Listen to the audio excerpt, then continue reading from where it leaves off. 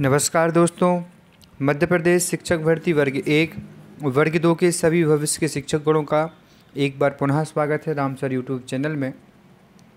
और प्यारे मित्रों, जैसा कि आप सभी को विदित है कि मध्य प्रदेश शिक्षक पात्रता परीक्षा वर्ग एक और वर्ग दो के आने वाले दिनों में काउंसलिंग प्रक्रिया प्रारंभ होने वाली है, जिसको लेकर रोस्टर भी जारी कर दिया गया था। पदों की संख्या आप सभी को पता चल गई है प्रत्येक विषय की।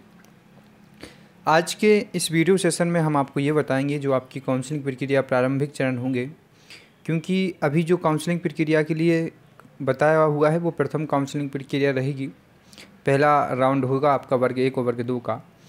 तो उसमें जो अभ्यर्थी चयनित होंगे या जो अभ्यर्थी वेटिंग लिस्ट में आएँगे तो वेटिंग लिस्ट वाले अभ्यर्थियों के लिए कितना मौका रहेगा और प्रथम काउंसलिंग प्रक्रिया में किन किन अभ्यर्थियों को मेरिट में शामिल किया जाएगा। हाँ जी, दो विषय रहेंगे, इस पर हम पूरी विस्तृत चर्चा करेंगे। और पदों में वृद्धि की कितनी संभावनाएँ हैं, इस पर भी हम लोग चर्चा करेंगे। साथ ही साथ जनजातीय विभाग की काउंसलिंग प्रक्रिया कब तक होगी, पदों का विवरण अभी तक क्यों नहीं आया है, क्या ऐसा कारण है, इसको लेकर भी एक विस्तृत चर्चा की जाएगी। तो वीडियो आप सभी लोग पूरा देखिएगा, मित्रों से निवेदन है, और वीडियो को लाइक ज़रूर कर दीजिएगा। इससे पहले महत्वपूर्ण सूचना है कि सभी अभ्यर्थी ने वर्ग तीन का फॉर्म भर दिया होगा। और वर्ग तीन की ऑनलाइन प्रैक्टिस सेट के लिए प्यारे मित्रों, परीक्षा ऐप के माध्यम से आप लगा सकते हैं, जिस प्रकार वर्ग एक को वर्ग दो में लगाया था। यहाँ से प्रैक्टिस सेट लगा सकते हैं, प्रत्येक विषय का अलग अलग सेट बनाया हुआ है। और जब भी आप यहाँ से कोई भी प्रैक्टिस सेट परचेस करते हैं एफएलटी परचेस करते हैं पैकेज परचेस करते हैं तो ये कूपन कोड हमेशा याद कर लीजिए और इसको लिख भी लीजिए। जो है Ram sir ji twenty five इसको यूज़ करने पर आपको पच्चीस परसेंट तक का ऑफ़ मिलेगा।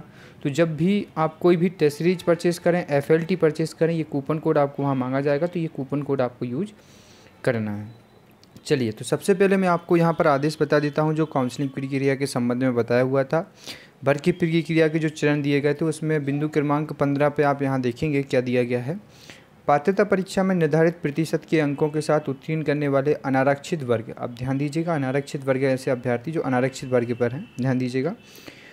अनारक्षित वर्ग अभ्यर्थी आर्थिक रूप से कमज़ोरी डब्ल्यू की श्रेणी में आने वाले अपनी प्रविष्ट आई ऑनलाइन पोर्टल पर करेंगे, जो कि आप लोग कर चुके हैं। काफ़ी वर्ग दो और वर्ग एक की डेट वर्ग एक की डेट निकल चुकी है। वर्ग दो वाले अभ्यर्थी हैं अभी।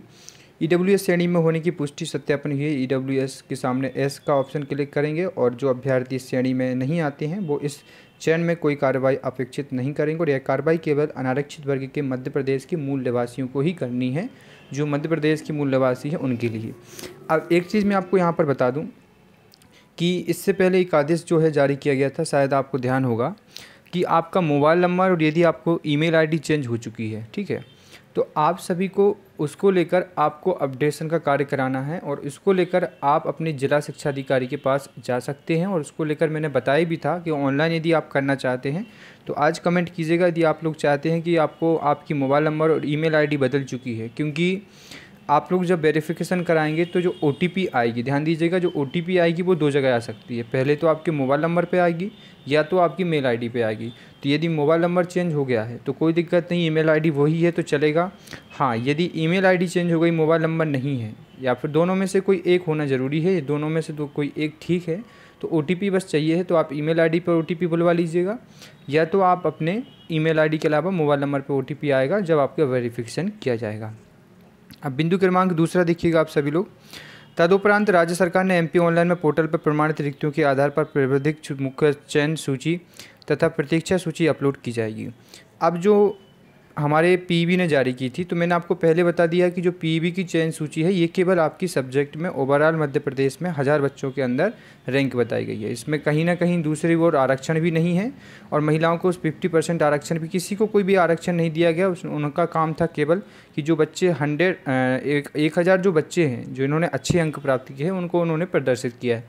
तो वो कोई एक मेरिट सूची नहीं है, वो एक केवल अंकों के आधार पर चयन सूची है और कुछ नहीं है। जो वास्तविक मेरिट सूची जारी होगी वो 20 फरवरी को होगी वर्ग एक की और साथ ही साथ उन्नीस, उनतीस फरवरी को होगी वर्ग दो की। अब ये जो सूची जारी होगी, ये किसके माध्यम से होगी? ये एमपी ऑनलाइन के माध्यम से जारी की जाएगी, ठीक है? अब यहाँ पर जो सूची जारी की जाएगी उसमें क्या हो जाएगा कि जो मुख्य चयन सूची होगी, जिसमें प्रतीक्षा चयन सूची जो होगी, मुख्य चयन सूची, और दूसरी प्रतीक्षा सूची, जिसमें वेटिंग वाले जो अभ्यर्थी रहेंगे, वेटिंग वाले भी इसमें बताए जाएँगे। यह सूची जो होगी, इस सूची के पश्चातवर्ती तिथियों में विविध प्रक्रिया के आधार पर संबंधित के दस्तावेजों का सत्यापन और रिक्त पदों की संख्या के अध्ययन होगी। अध्ययन होगी। अध्ययन से तात्पर्य होता है कि जो रिक्त पदों की संख्या है, उसके हिसाब से आप सभी के यहाँ पर काउंसलिंग की जाएगी। अब जैसे ही चयन सूची डाउन वो हो जाएगी, आपकी जारी हो जाएगी बीस फरवरी को वर्ग एक की और उनतीस फरवरी को वर्ग दो की। उसके बाद आप सभी को कराने पड़ेंगे डॉक्यूमेंट्स वेरिफिकेशन, दस्तावेज़ सत्यापन कराना पड़ेगा। उसकी तिथि भी बता दी गई है। वैसे तो माह माह का नाम बताया गया है कि इस माह में होगी, लेकिन तिथि का निर्धारण अभी नहीं किया गया है। उसके बाद आपका जो होगा डॉक्यूमेंट्स वेरिफिकेशन होगा। पूरा एक एक बाई स्टेप आप सुनिएगा। इसके बाद देखेंगे आप प्रबंधिक सूची में नाम यदि सम्मिलित होने के आधार पर भी कोई अभ्यर्थी नियुक्ति का दावा नहीं कर सकेगा। अब ऐसा क्यों कर नहीं सकेगा? क्योंकि ये आपका प्रथम चरण रहेगा। ध्यान दीजिएगा, यहाँ पर यदि आपकी एम ऑनलाइन द्वारा मेरिट लिस्ट में जारी में नाम आ जाता है, तब भी आप अपने चयन का दावा नहीं कर सकते। क्यों नहीं कर सकते? क्योंकि आपको जो आवश्यक दस्तावेजों का सत्यापन कराना है उसके समय भी यदि आपने कोई भी डॉक्यूमेंट्स में त्रुटि निकलती है तो आपको वहाँ बाहर कर दिया जाएगा। इसलिए इन्होंने साफ़ साफ़ लिखा है कि आप फाइनल अपने सिलेक्शन का दावा नहीं कर सकते। उसके बाद आपकी परिवेक्षा अवधि भी ली जाएगी। ध्यान दीजिएगा कब तक नहीं कर सकते? जब तक परिवेक्षा अवधि में पास नहीं हो जाते डॉक्यूमेंट्स वेरिफिकेशन में आप पास नहीं हो जाते तो आपको उसके आगे भी स्टेप है। इसलिए इन्होंने साफ़ साफ़ कह दिया है कि आप अपने सिलेक्शन का दावा नहीं कर सकते, क्योंकि पहले तो आपको डॉक्यूमेंट्स कराने पड़ेंगे वेरिफिकेशन उसके बाद आप सभी को परिवेक्षा अवधि में सम्मिलित रूप से कार्य कराना पड़ेगा। इस प्रकार से आपको पूरी प्रक्रिया के माध्यम से ही आपका चयन किया जाएगा। तो यहाँ पर यही कहा गया है। अब यहाँ पर ध्यान दीजिएगा कि जो अभ्यर्थी हमारे अतिथि शिक्षक हैं, उनके लिए यहाँ पर साफ़ साफ़ निर्देश दिए गए कि प्रबंधक सूची में जिन अभ्यर्थियों के नाम प्रदर्शित किए जाएँगे, उन्हें निर्धारित फ़ीस जमा कर एमपी ऑनलाइन पोर्टल पर निर्धारित अवधि में अपने दस्तावेज़ करने होंगे और दस्तावेज़ अपलोड करते समय अभ्यर्थी को यह प्रविष्ट करनी होगी कि वह किस ज़िले से अपने दस्तावेजों का सत्यापन कराना चाहता है। अतिथि शिक्षक, ध्यान रखें कि उसी ज़िले में ही दस्तावेजों का सत्यापन कराना अनिवार्य होगा, जिस ज़िले से उन्होंने अतिथि शिक्षक के रूप में कार्य किया है। ये मध्य प्रदेश के जो मूल अतिथि शिक्षक हैं, उनके लिए निर्देश दिए गए हैं और बाकी हमारे लिए बताया गया है कि हमें पोर्टल का चार्ज देकर ऑनलाइन डॉक्यूमेंट्स अपडेट कराना है।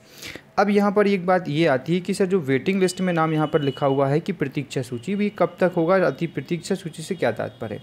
तो यहाँ पर हमने आपको बताया है, ऊपर थमलेन भी लिखा है कि आपकी फ़र्स्ट राउंड की काउंसलिंग प्रक्रिया की जाएगी। पहली राउंड की काउंसलिंग प्रक्रिया होगी। वर्ग एक में लगभग लगभग पाँच हज़ार छः सौ कुछ पद आपके यहाँ पर सम्मिलित हैं और वर्ग दो में वर्ग एक में पंद्रह हज़ार हैं और वर्ग दो में समथिंग समथिंग आपके यहाँ पर पाँच हज़ार छः सौ पद हैं। तो जो विषयवार पदों का विवरण बताया गया है रोस्टर में, उसके हिसाब से आप सभी के पदों के हिसाब से आपकी काउंसलिंग ली जाएगी। तो अब यहाँ पर जो अभ्यर्थी मेरिट में आएँगे या फिर जो मेरिट में कौन कौन से अभ्यर्थी आएँगे और जो बेटिंग में आएँगे, उनको फ़ायदा किस प्रकार से होगा? अब जो अभ्यर्थी मेरिट में आएँगे तो उनका फाइनल ही है कि चयन सूची में यदि दस्तावेजों में कोई कमी नहीं निकलती है परिवीक्षा अवधि में सफल होते हैं तो वो जो है वास्तव में सफल शिक्षक बन जाएँगे। अब जो बच्चे मेरिट में आएँगे जो वेटिंग में आएँगे, उनके साथ क्या होगा? तो जो अभ्यर्थी मेरिट में आएँगे, उनके लिए यहाँ पर चांस ये रहेगा, क्योंकि आपका जो आपका जो पर कार्ड आया है, स्कोर कार्ड है, वो लगभग दो साल के लिए वैलिड है। ठीक है, जो स्कोर कार्ड आपको मिलेगा। अब लगभग चार पाँच महीने तो हमें ऐसा है कि जब से स्कोर कार्ड जारी हुआ है, लगभग हो चुका है।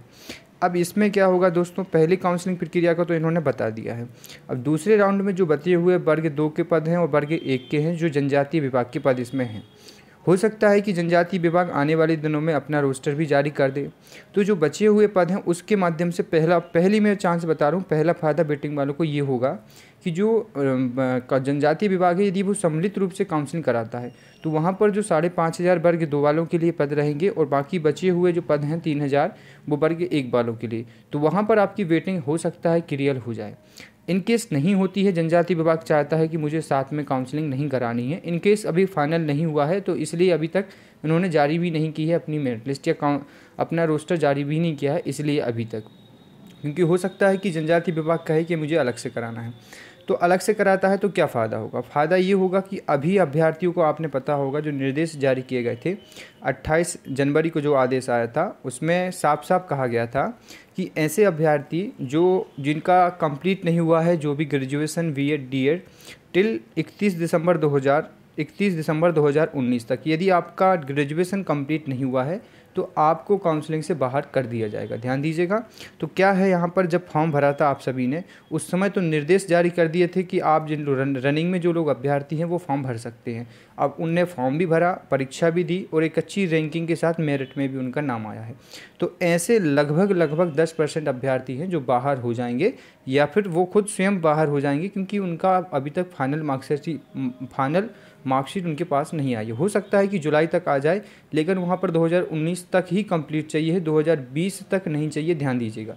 यदि आपकी 20 जनवरी में भी आ जाती है, तब भी आपकी एक्सेप्ट नहीं की जाएगी, ध्यान रखिएगा। चाहे आपने बी एड डी एड की मार्कशीट ही फाइनल चाहे आपकी ग्रेजुएशन की फाइनल की मार्कशीट हो 2019 तक ही कंप्लीट चाहिए है।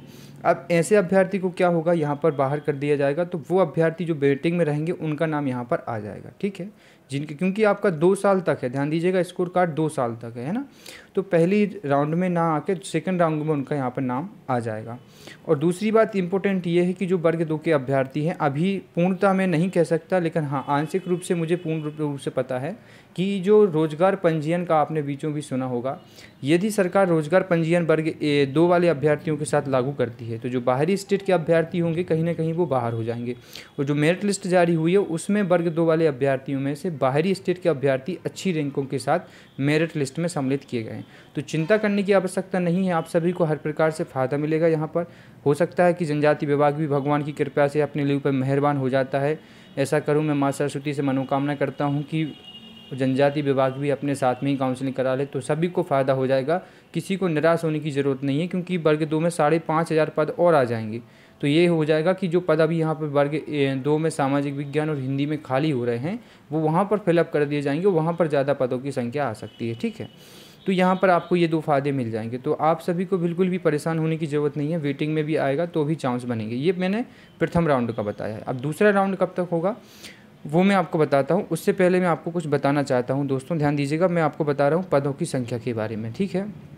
पदों की संख्या में कमी या वृद्धि हो सकती है और प्रथम चरण में लगभग पंद्रह हज़ार पदों की पूर्ति की जाएगी और शेष पदों की द्वितीय चरण में की जाएगी।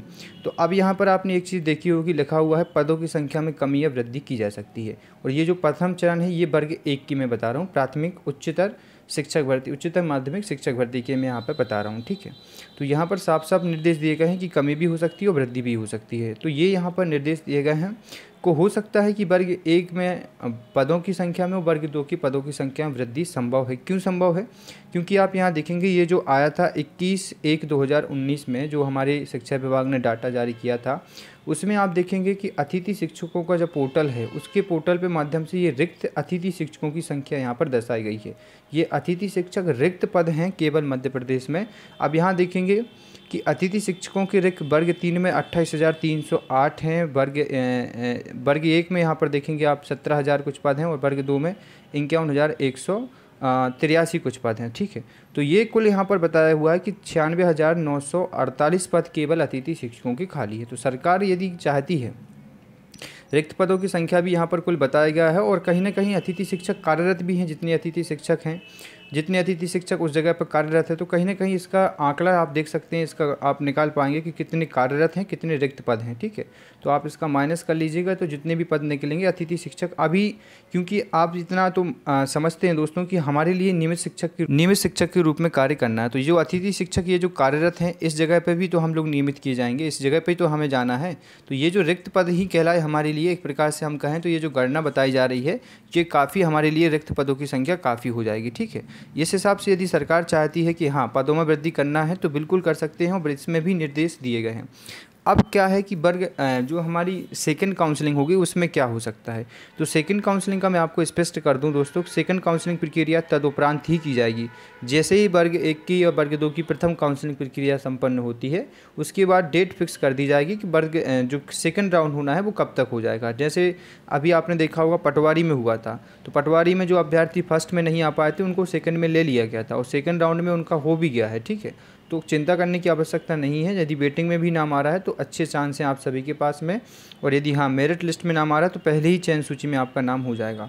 और इसके अलावा यदि आपको कोई भी किसी भी प्रकार का डाउट है, इसको लेकर है, डॉक्यूमेंट्स को लेकर मैं एक पूरा वीडियो बना दूँगा कि कौन कौन से अभ्यर्थी जो हैं, बाहर हो सकते हैं। कौन कौन से अभ्यर्थी यदि ये योग्यता नहीं रखते हैं, जो नियम बताए हुए हैं तो वो अभ्यर्थी बाहर हो सकते हैं। उसको लेकर मैं कंप्लीट वीडियो और बना दूँगा।